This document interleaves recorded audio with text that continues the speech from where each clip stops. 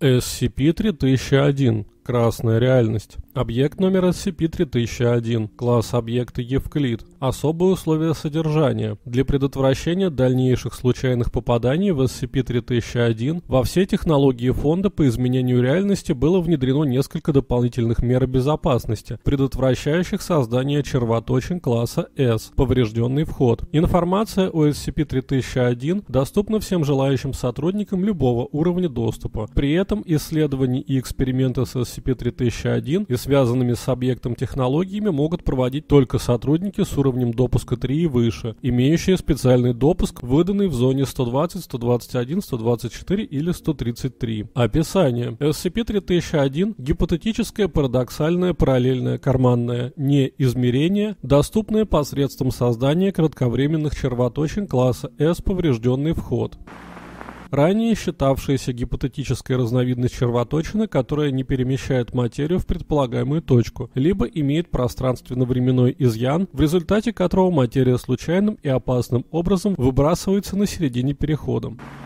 Предполагается, что объект является безграничной параллельной вселенной, однако при этом почти не содержит какой бы то ни было материи, а уровень напряженности реальности Подробнее о физике реальности и юмах как единицах измерения смотрите документы JEK VTO1 и JEK EB02 крайне низок и составляет 0.32, что противоречит законам реальности Кеджела о соотношении напряженности реальности с пространством-временем. Из-за этого материя внутри объекта распадается крайне медленно, и повреждение, которое казалось бы летальным в других условиях, не препятствует нормальному продолжению всех биологических и электрических функций. Согласно модельным данным, организм может потерять более 70% своих тканей и все равно будет функционировать нормально, до тех пор, пока останется как минимум 40 40% ткани мозга. Однако длительное взаимодействие приводит к постепенному падению напряженности реальности внутри объекта до фонового уровня, что приводит к серьезным повреждениям тканей и структур. SCP-3001 был обнаружен 2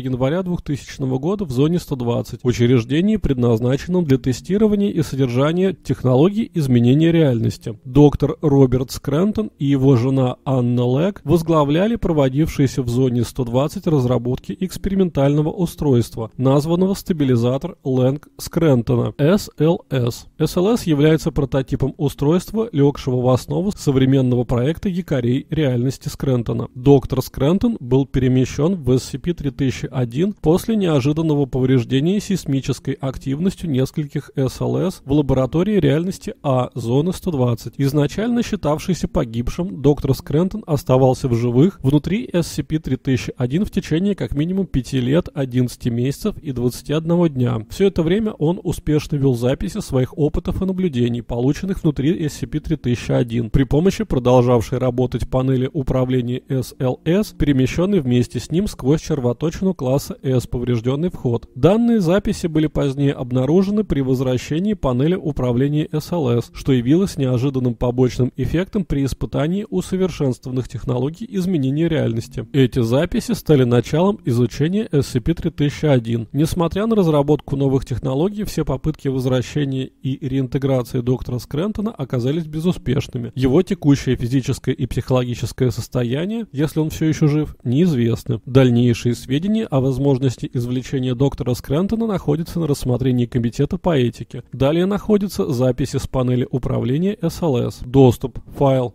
Скрентон. Записи о SCP-3001, часть 1. В течение первых восьми дней никаких осмысленных фраз от доктора Скрентона не было слышно. Он испытывал периоды паники, замешательства и гнева, и, по-видимому, пытался найти путь наружу через SCP-3001. Наконец, на одиннадцатый день он подобрался достаточно близко к записывающему устройству, хотя не замечал, что оно работает в течение еще нескольких часов.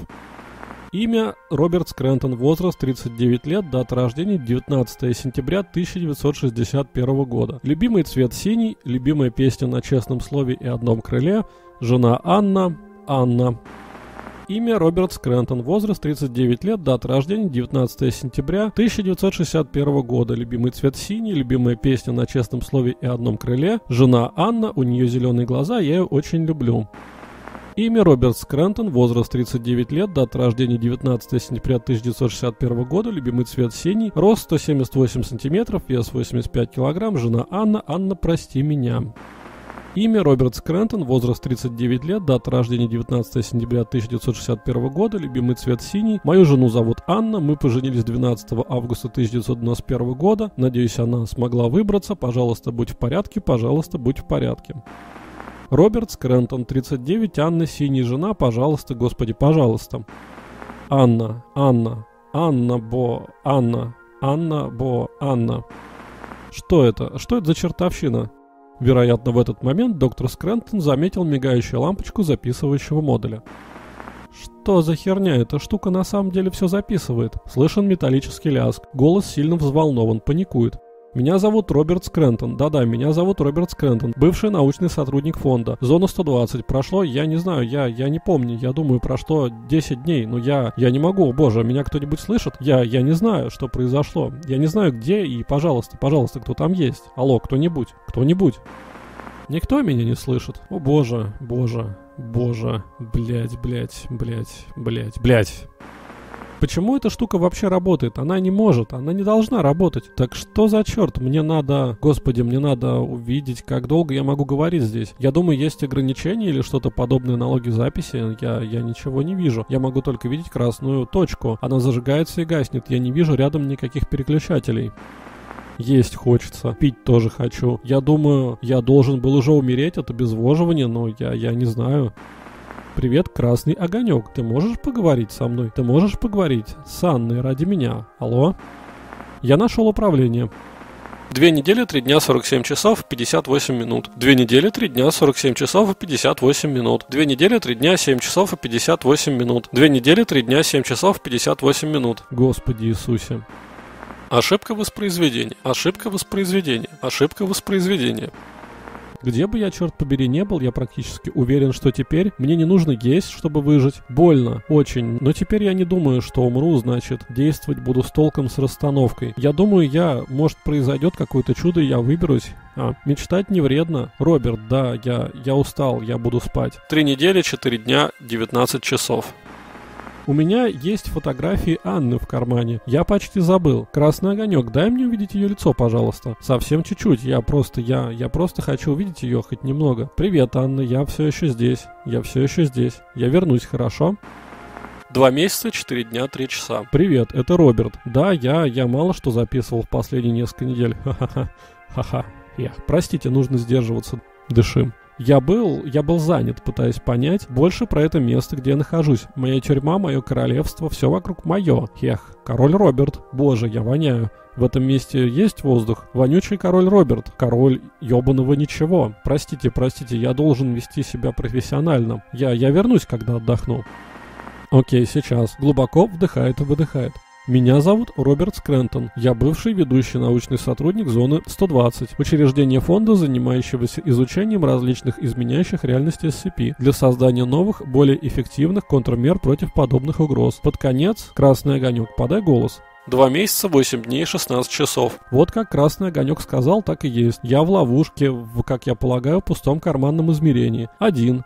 Да, один, совсем один. Я назову это место SCP. Я не знаю, я не помню, где мы к черту. Я не знаю, что произошло за последний красный огонек. Будь добр, еще раз. Два месяца, восемь дней, 16 часов. Но возражать здесь все равно некому, так что я просто говорю с панели управления, чтобы не сойти с ума. Я должен продолжать запись. В будущем может быть такой же невезучий ублюдок, который закончит, как и я. Если это когда-то выберется, может, может я смогу предотвратить это. Других плюсов в моей ситуации все равно не видать, так что нужна какая-то цель. Цель, что чтобы к ней стремиться, ха-ха. Ну да, Роберт Скрентон, документирую новый SCP для будущего изучения. Это все, что я могу здесь сделать. Поехали.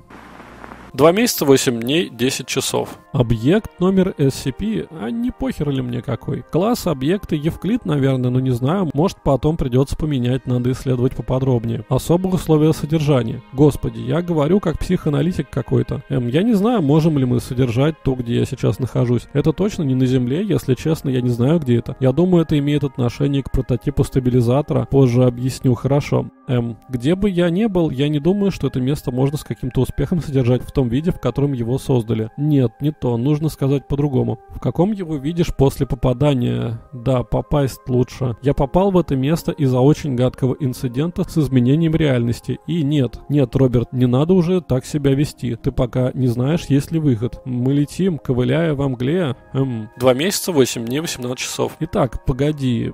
Не то. Описание. Роберт, придерживайся формата. Это место что-то наподобие провала в реальности, мне кажется. Темно, очень темно. Настолько, что то, что этот красный огонек показывает, что мои слова записываются, единственный видимый свет во всем этом измерении. Я не вижу своих рук, я еле вижу здесь панель управления. Мне пришлось использовать огонек как ориентир и запоминать, сколько шагов в каждом направлении я сделал. Я еще не ходил дальше ста. Я слишком, я слишком боюсь. Хе, интересно, не сидеют ли у меня прямо сейчас волосы? Я даже не вижу, какого они цвета. Кстати говоря, моя голова в последнее время немного зудит. И если на этом не сосредотачиваться, то все нормально. Но все лицо покалывает, не знаю почему. Два месяца, 15 дней, 4 часа. Окей, а, мне, мне надо расслабиться на минутку, Господи Иисусе, черт, Пресвятая, черт, черт. Я только что выяснил новое свойство этого места. Все это время я думал, что мог ходить по чему-то вроде плоской поверхности, если угодно. Я следил за красным огоньком так далеко, как мог видеть, и казалось, я мог идти прямо по плоскому пути. Господи, голова прямо жужжит. Думаю, адреналин еще действует. Но если моя гипотеза верна, и это правда что-то вроде реальности, значит, тут должно быть не почему ходить. Теперь, когда я думаю все время, что я провел здесь, я чувствую, будто я, я хожу.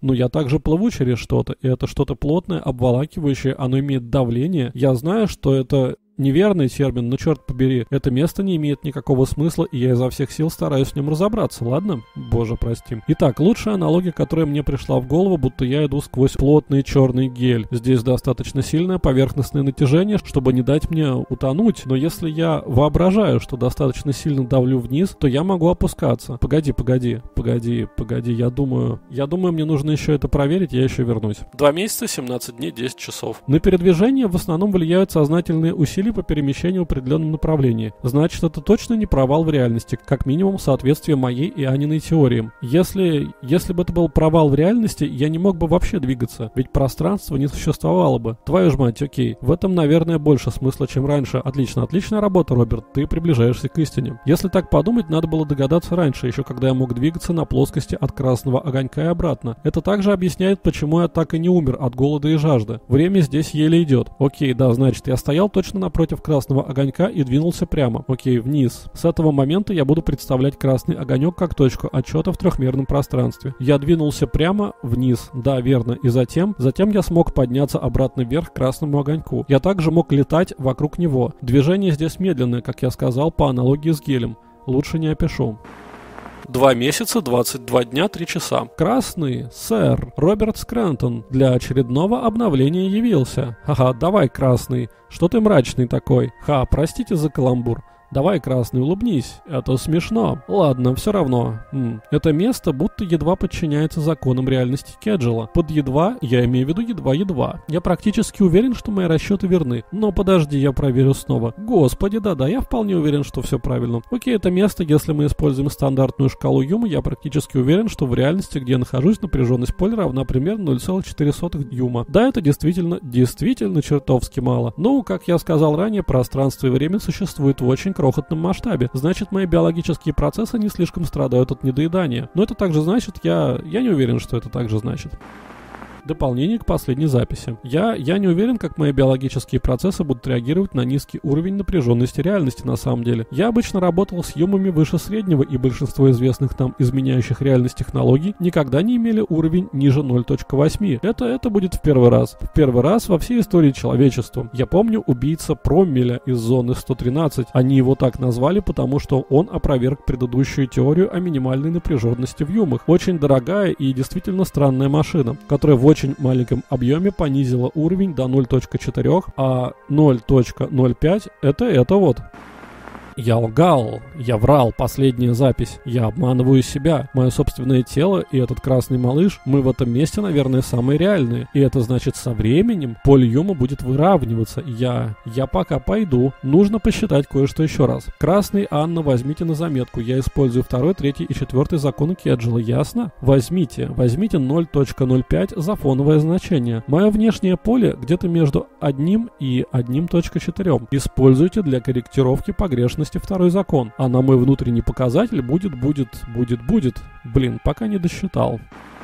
Я реален, я супер реален, супер-дупер реален, ультра реален, самый реальный чувак в мире нереального. У тебя, Красный, как обычно, нет чувства юмора. Я говорю про СЛС, Красный. Когда нас сюда отправило, я думаю, наша реальность усилилась, усилилось наделение другое. Красный, что ты на уроках ворон-то считал? Не надо тут умника из себя строить, Красный. Ладно, смысл в том, что всплеск СЛС догнал нас до уровня в в... Два месяца, 18 дней, 7 часов. Нет, Красный, даже, блядь, не близко. Ты неправильно преобразовал уравнение третьего закона реальности. Из-за сбойнувшего СЛС, которым нас долбануло, мы сейчас где-то между 2,3 и 3,6. Да, правильно, Красный, это очень хорошо. Потому что это значит, что у нас есть больше времени, чем мы ожидали. Чтобы, да, Красный, прежде чем мы сдохнем, ясно?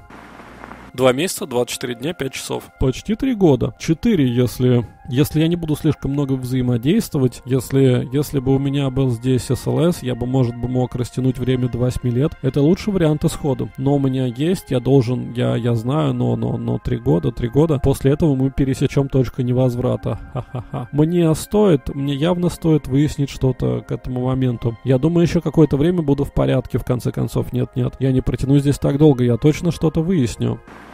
Анна, что бы мы с тобой делали в таком случае? Мне нужна твоя помощь, дорогая. Это, это покалывание, которое я чувствовал. Это мое поле юмора рассеивалось. Моя моя реальность растворялась. Три года. Мне нужно стабилизировать себя за три года. Я думал, у нас с Анной была теория, даже если уровень юма низок, это все равно уровень юма, а поскольку он так низок, его распространение должно занять некоторое время. Теперь, если, если бы я мог содержать, перерабатывать поля, держать рассеяние в рамках, я бы мог, и я также, возможно, бы мог. Это только теория, но попробовать стоит, но это значит Эй, Красный, мне придется уйти на некоторое время. Я хочу кое-что протестировать. Ты не сможешь пойти со мной. Я... Мне жаль. Нет, нет, Красный, мне правда жалко. Я хочу, чтобы ты пошел со мной. Но если мы вместе, наше распространение увеличится быстрее. На бомбоем нужно столько времени, сколько мы сможем выиграть. Мне нужно выяснить больше про это место, а тебе нужно удостовериться, что ты все запомнил. Это Красный, ну же, ты будешь в порядке, Красный. Я знаю, ты будешь, ты сильный. Намного сильнее меня. Это будет ненадолго, Красный, но мне нужно постараться найти способ добыть нам больше времени времени. Возможно, даже вытащить нас отсюда. Если я смогу сдерживать достаточно поля, я смогу, я, возможно, смогу вытащить нас отсюда. Нет, нет, я не уверен, но мне нужно знать. Красный, мы говорим о возможном плане побега, хорошо? Да, это щель. А щель должна где-то заканчиваться, как, как стены каньона, понимаешь? Мне нужно найти стену, и тогда, и тогда я смогу. Прости меня, Красный, надеюсь, мы все еще будем друзьями, когда я вернусь. Я, я пойду, скоро увидимся. Скрентон, записи OSCP-3001, часть 3. 6 месяцев, 10 дней, 5 часов. Снова привет, красненький, давно не виделись. Знаешь, обдумывая снова, я не знаю, чем я был так взбудоражен. Это место, боже, это место гребаный ад. Здесь нет конца, оно просто тянется и тянется и тянется. Я шел в одном направлении два чертовых месяца, господи, какой же я, блядь, тупой. Почему я думал, что я смогу выбраться? Я просто как один из тех древнейших европейских идиотов, которые думали, что мир заканчивается у горизонта. Дебил, мать твою. Роберт, какой тупой, просто, просто, а... Если я позволю себе падать вниз достаточно долго, упаду ли я когда-нибудь на дно? 10 месяцев, 28 дней, 15 часов. Дна нет. И пошел ты, красный. Прости меня, красный, не уходи. Прости, что выключил тебя сегодня. Вернись, вернись, пожалуйста. Сегодня мне исполнилось 40. С днем рождения, Роберт. Знаешь, а я ведь приемный. Да, мои родители оставили меня в коробке на обочине. Меня подобрала американская пара, что объясняет мое не очень китайское имя. Я даже не знаю, какая у меня настоящая фамилия. Просто решил поделиться. А что ты скажешь, красный? Мы с Анной встретились в зоне в 1988 году. Боже, она была прекрасна, до сих пор прекрасна. Ее глаза, у нее очень красивые глаза. Мои глаза серые, они скучные. Но ее, боже, они прекрасны. Думаешь, она все еще волнуется обо мне, красный, она ищет меня. Знаешь, Красный, ты отлично умеешь слушать, но ты ни разу не говорил о себе. Ну же, не стесняйся, рядом никого нет, верно? Верно? Прости, Роберт, боюсь, я не могу этого сделать. Красный, ты такой смешной. Ты был женат, дети, хоть какая-то семья, девушка, парень. Ну уже красный, я не буду осуждать, просто поговори со мной, пожалуйста, господи, голова болит. И мои ступни, как будто я их сто лет назад отсидел. Я в юности работал в магазине комиксов. Раньше они были намного дешевле, а в конце каждой недели давали что-нибудь бесплатно. Я больше всего любил Человека-паука. Меня оставили в коробке на обочине.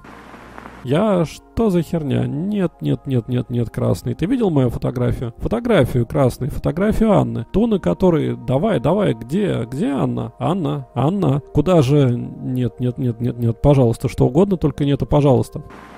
Оно растворяется. Она растворяется. Она растворяется. Пожалуйста, Анна, нет, пожалуйста. Ну давай, дорогая, останься здесь. Еще слишком рано, слишком рано. Мои расчеты правильны, они правильны. Ты должна быть в порядке, Анна. Анна, Анна, я не могу удержать тебя. Вернись. Анна, дорогая, любимая Анна, пожалуйста, ты нужна мне. Ты нужна мне, пожалуйста, пожалуйста, не уходи. Я здесь, я все еще здесь. Красный, приведи помощь, Анна, пожалуйста, не уходи, я не...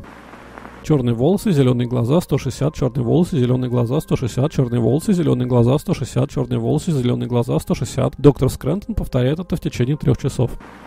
Мы с Анной поженились в 91-м. Мы не могли достать красивый костюм и платье, которые мы хотели из-за работы. Но, блин, мы оба выглядели великолепно. Анна, конечно же, выглядела лучше. Мы танцевали и танцевали всю ночь напролет, целую неделю был отпуск. Даже на работе вроде моей тебя не оставят без медового месяца. Ну давай, красный, открывай. Поставь туда, дай 5. Давай, давай, красный. Один год, два месяца, 27 дней. Последующие записи воспроизводят только автоматический голос, называющий время с интервалом от 1 до 3 дней, с редкими перерывами в несколько месяцев. Также можно услышать рыдания, крики и бормотания доктора Скрентона. Записи продолжают воспроизводиться до второго года, 7 месяца и 28 дня, после которых они перестали улавливать звук в течение двух месяцев. Скрентон. Записи OSCP-3001, часть 4. Голос Скрентона заметно искажен. Предположительно, он частично слился с панели управления, что показывает на проявляющиеся признаки распада реальности. Роберт, холодно, я не, я больше не чувствую ног. Я думаю, я думаю, я достигаю точки, о которой я говорил, низкий уровень поля Юма. Рассеяние, уравновешение, какой же бред. Я больше не знаю, что здесь реально, черт. Я не уверен, реален ли я, или как-то близок к реальности. Если, если я действительно так уйду, я, я еще не хочу умирать. Я еще не хочу умирать, господи, я еще не хочу умирать. Я бежал по одной прямой диагональной линии 6 месяцев. Я шел вниз по такой же диагонали. Нет, я просто шел вниз. В течение 8 дна все еще нет. Красный дна все еще нет. Чем ты занимался, Красный? Неужели ты все это время слушал меня? Ах, ты упрямый, Красный. Люси. Эх, Красный, извини, я, должно быть, уснул. Что ты хотел? Ох, прости, я, я попытаюсь вспомнить. Люси. Так мы хотели назвать нашего ребенка, если бы он у нас был. Люси Скрентон, Люси Лэнг. Мы с Анной оба считали, что это красивое имя. Я нет, Красный. Я не помню, чтобы мы выбирали имя для мальчика. Доброе утро. Доброе утро. Мы говорили все напролет. Блин, я совсем не умею отбивать чечетку, я стопа не чувствую. Окей, давай тогда ты попробуй, что ли, красный. Согласно закону Кеджела, поле юма рассеивается. Согласно закону Кеджела, мои яйца отваливаются, если так и дальше пойдет.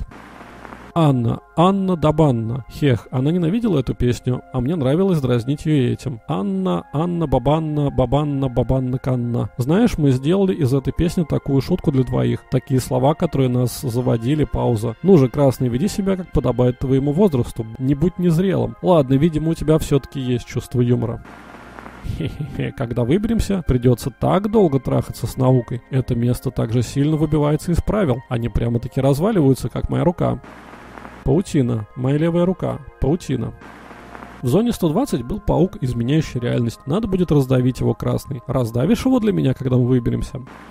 В среднем 10-15 километров в день плюс несколько перерывов. 32, 30, 10, нет, 8, нет, по-моему 10, по крайней мере 300 километров осталось и, и черт, нет, быстрее шел вниз. К черту, будем считать примерно 600 километров вниз, чтобы подняться. Ушло до хера больше времени. Далеко внизу, бездонная, бесконечная, как человеческая глупость. Заткнись, Роберт, ты не смешной. Поле Юма, поле Бума. Распадается со скоростью черт. Какая там константа дополнительных соотношений промиля? 10 в четвертый? Нет, нет, в пятый, по-моему, в пятый. Один год, может еще несколько месяцев сверху.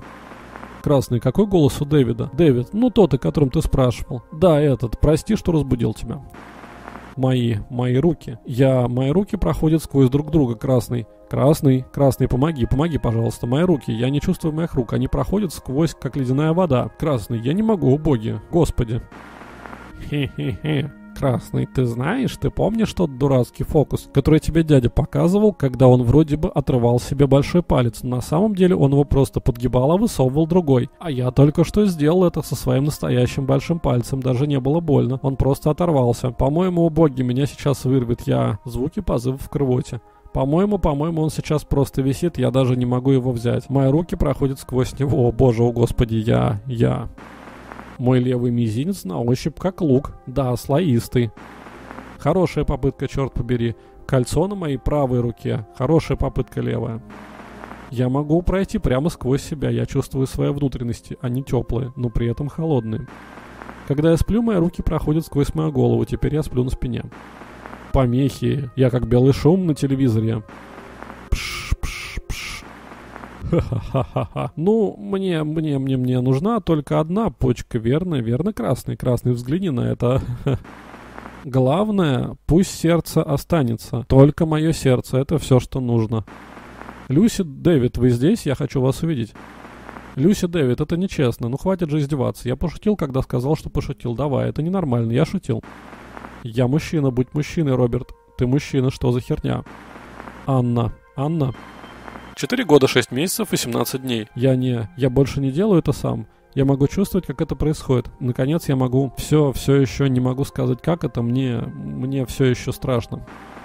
Я точно не буду больше есть. А есть-то по-прежнему очень хочется. Это так, блин, мерзко, Роберт, и ты это знаешь. Нет, видишь, красный тоже так думает, нет. Первый пальчик пошел в магазин. Второй пальчик пошел куда-то. А эта ножка ступня красный. 5 лет 13 дней. 5 лет 14 дней. 5 лет 15 дней, 5 лет 15 дней, 5 лет 15 дней. Прекрати, ты делаешь мне больно. 5 лет 19 дней. Мне уже лучше, красный, прости.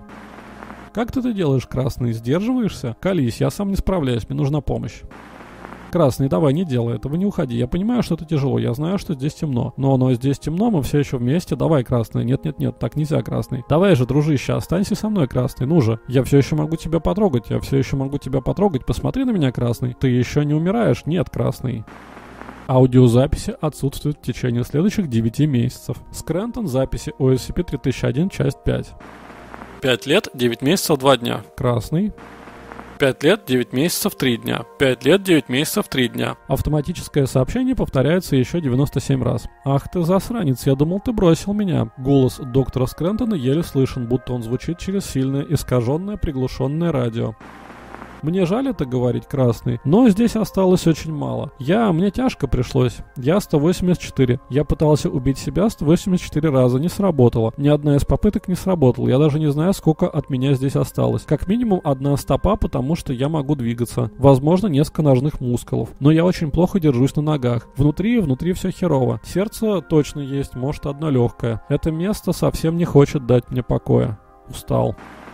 Я, я же принимал смерть, Красный. Ну же, Красный, не смотри на меня так. Не нужна мне твоя жалость. И поражение твое тоже не нужно. И страх, и гнев. Ну, и не могу, когда 224 я сбился со счетом. Раз, два, три, четыре. Доктор Скрентон считает от 1 до 220, 246 несколько раз в течение следующих 13 часов.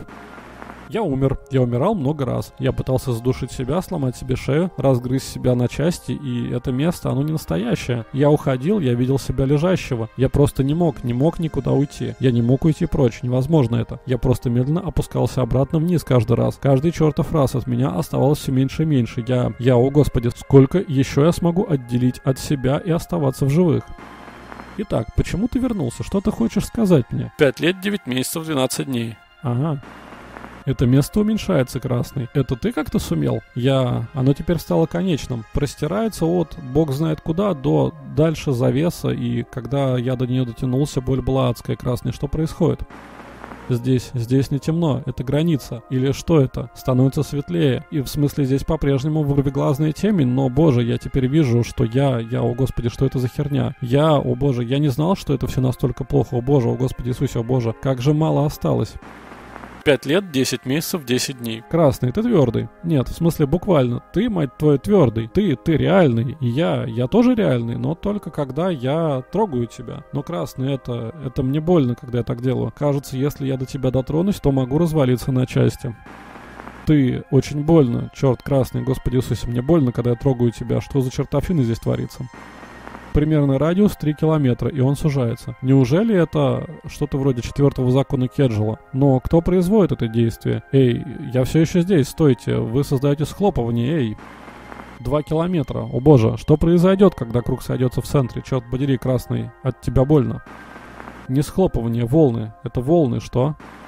Роберт, ты чертов гений. Не стены, окна. Открой окна. 5 лет, 10 месяцев, 28 дней. Анна, Анна, ты меня слышишь? Это волны. Эти волны, это место. Ладно, представь две реальности, как два слипшихся клока бумаги. Это место зажато между двумя бумагами. Должно быть только две реальности, но это место крохотное, но бесконечное третье.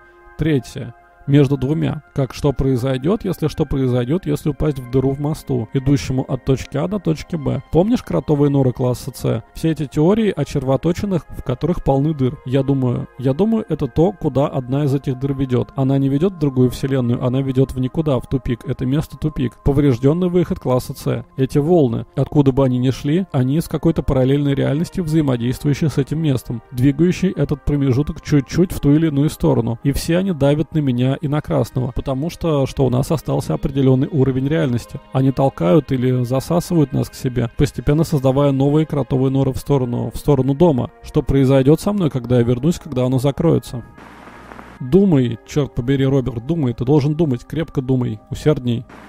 Красный, мне придется, ах, придется, Иисусе, мне придется отойти от тебя, я не знаю, ты болен или что, ты сейчас в ужасном состоянии, сообщи мне, когда тебе станет лучше. Я, я не могу, мысли не складываются. Кровь, кровь здесь слишком много. А. Кап-кап-кап. Куда это все девается? Звук рвоты. Я не звук растягивается. Пробовал блевотины очень давно. Даже после того раза, когда мой, мой, будь мужиком, Роберт. О боже, о господи, только не опять, только не опять, только не опять, звук рвоты. Голос ломается. Как? Как из меня может выйти столько? Скажи, красный, у меня ведь даже не... Звук растягивается, не осталось желудка, и кровотечение не останавливается. Доктор Скрентон срывается и плачет следующие два часа. Лу, звук растягивается. Лучше теперь, могу думать как надо. Красный, я не знаю, готов ли я вернуться назад, куда бы то ни было. Пять лет, восемь месяцев, три дня. Нет, Красный, я не эгоист. И вина здесь не твоя. Это все чертовы волны. Я не могу быть рядом с ними, Красный. Посмотри, посмотри на меня. Видишь, Красный? Посмотри на меня, посмотри. Я не могу быть рядом с ними. Они меня убьют. Мой трехлетний срок истек очень давно, помнишь? Потому что даже, даже спустя столько времени я не хочу умирать, Красный. Мне все еще страшно. Голос ломается. Красный, мне страшно, ладно? Тебе не понять. Ты не... Ты не человек, Красный. Ты, ты слышишь, как волны приближаются, Красный? Это небольшой гул. Тряска бьет по твоим ушам. Я чувствую. Он становится громче каждый раз. И так сильно болит. Начинает тихо всхлипывать. Так сильно болит.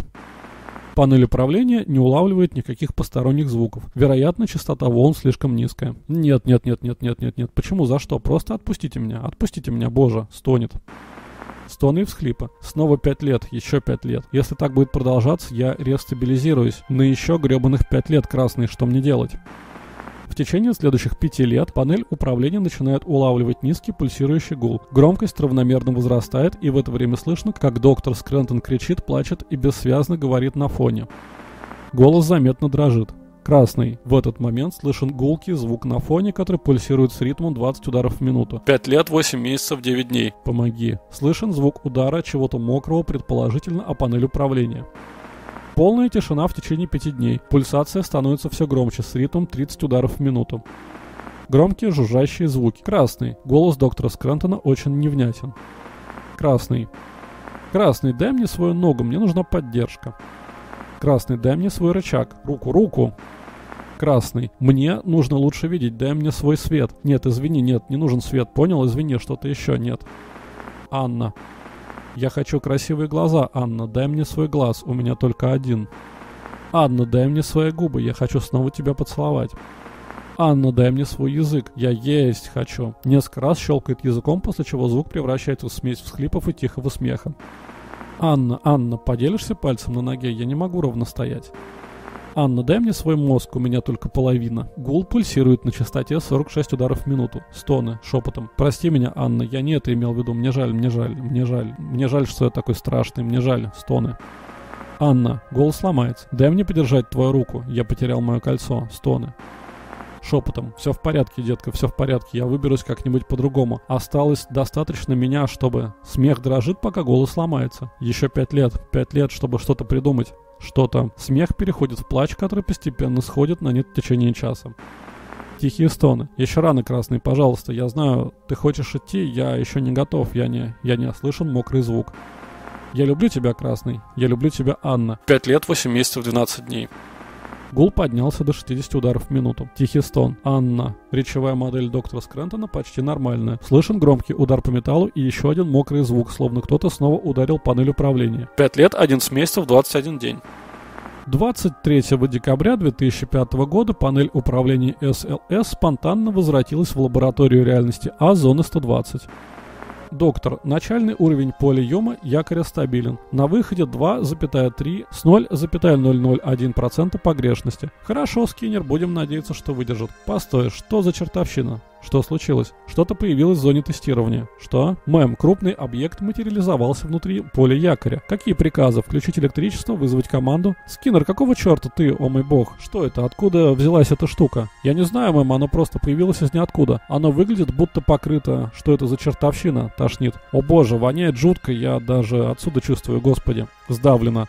Пахнет как смерть, блевотина и кровь и... Мэм? О мой бог. Мэм? Не прерывай, Скиннер, я повторяю, не прерывай. Поддерживай поле, не прерывай эксперимента. Мэм, что происходит, мэм? Снизь напряжение поля Юма до 1.7. Я вхожу в зону содержания. Не отключай поле, иначе мы рискуем дестабилизировать объект. Э, да, мэм. Механическое жужжание. Эм, докладываю. Да, это доктор Мэтью Скиннер. Запрашиваю звук шагов почему-то мокрому. О боже, что это за чертовщина, что это такое? Это, это, о боже, Роберт. Роберт? Роберт, это ты? О боже, пожалуйста, только не это, только не Роберт. Я думала, я думала, как эта штука может быть? Снова слышны звуки шагов по мокрому, электрические гудки. Мэм, мэм, что вы делаете? Вам не стоит трогать. Это интерфейс управления стабилизатора Лэнг Скрентона. Добро пожаловать, доктор Лэнг. Что вам угодно? Доступ к протоколу звукозаписи. Начать воспроизведение от 2 января 2000 года. Слышен хлюпающий звук. О боже, о господи, что за ужас произошел с этой штукой? Будто кто-то взорвался на ней как будто тошнит. Это, о господи, это же, о боже, пожалуйста, не будь это тошнит, затем стонет. Он серый, его серый о боги, где второй? Получение доступа к аудиофайлам. Пожалуйста, произносите пароль вслух, чтобы продолжить, доктор Лэнг. Ломающимся голосом, сдавлено. Пароль, пароль, Анна Бабанна. О мой бог, он, оно везде, что это за чертовщина. Запрос получен, обрабатываю. К сожалению, аудиологи за 2 января отсутствуют. Доктор Скрэндон получил доступ к логам 13 января 2000 года, используя голосовую идентификацию. Удар по металлу. Воспроизведи сейчас же, черт побери, воспроизведи. Стоны. О господи, Роберт, Роберт, дорогой, что случилось с... Подтверждаю, доктор Лэнг, получение доступа к аудиофайлам. Мэм, вам действительно не стоит трогать это голыми руками. Оно может быть опасно. Вам стоит подождать группу зачистки. Здесь так много крови, так так много, дорогой, ты в порядке? Куда ты пропал? О боги, о боги. Звуки плеска воды будто вытирают жидкость. О господи, здесь столько крови. Слышен плеск. Что? О мой. Тяжелый вздох, затем тишина в течение 20 секунд. Мэм, мэм, доктор Лэнг, пожалуйста, пожалуйста, отойдите от его рука, его кольцо. Оно просто упало на... Мэм, что? Ох, ох, черт, господи Иисусе, доктор Лэнг, отойдите, пожалуйста, вернитесь. Мы сейчас вас вытащим, все будет нормально. Файлы получены, доктор Лэнг, воспроизведение. Доктор Лэнг, пожалуйста, идите со мной. Мы приведем помощь. Вы слышите, доктор Лэнг? Доктор Лэнг, вы меня слышите, доктор Лэнг? Имя Роберт Скрентон. Возраст 39 лет. Дата рождения 19 сентября 1961 года. Любимый цвет синий. Любимая песня на честном слове и одном крыле. Жена Анна. Анна. Слышен громкий звук падения на мокрую поверхность. Доктор Лэнг, доктор Лэнг. Докладываю, это Мэтью Скиннер. Докладываю из зоны 120 лаборатории реальности А. Срочно требуется медицинская помощь.